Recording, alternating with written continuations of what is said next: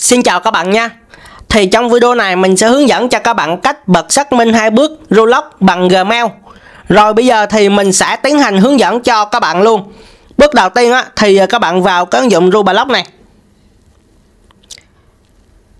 Rồi sau đó các bạn bấm vào cái mục ba chấm hình tròn Ở góc dưới bên phải màn hình chỗ đây.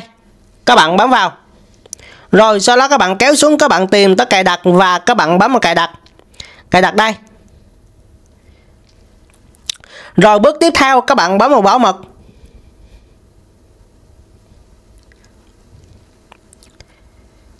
Rồi ở đây các bạn chú ý vào email, bảo mật. Nhận mã bảo mật độc nhất tại email Được chỉ định của bạn, thì bước này các bạn bật lên.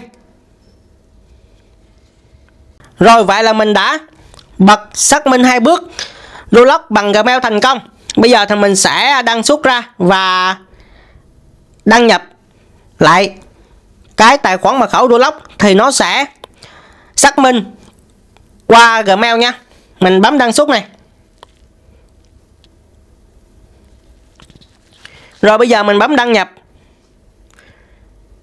Rồi bây giờ mình sẽ nhập mật khẩu. Rồi thì sau khi mình đã nhập mật khẩu xong, bây giờ mình bấm vào đăng nhập.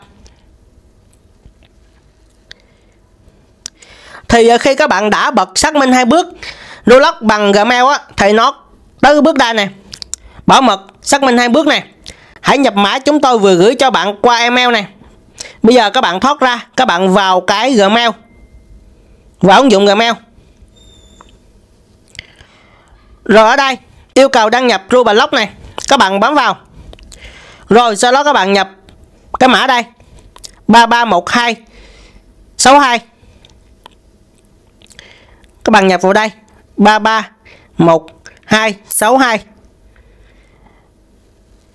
tin tưởng thiết bị này trong vòng 30 ngày nếu như các bạn muốn thì các bạn tích vào các bạn bấm vào xác minh Vậy là vừa rồi mình cũng đã hướng dẫn cho các bạn cách bật xác minh hai bước Roblox bằng Gmail. Video của mình cũng dừng tại đây. Cảm ơn các bạn đã xem. Bạn nào thấy video của mình hay và hữu ích thì cho mình một like và một đăng ký kênh nhé. Bye bye.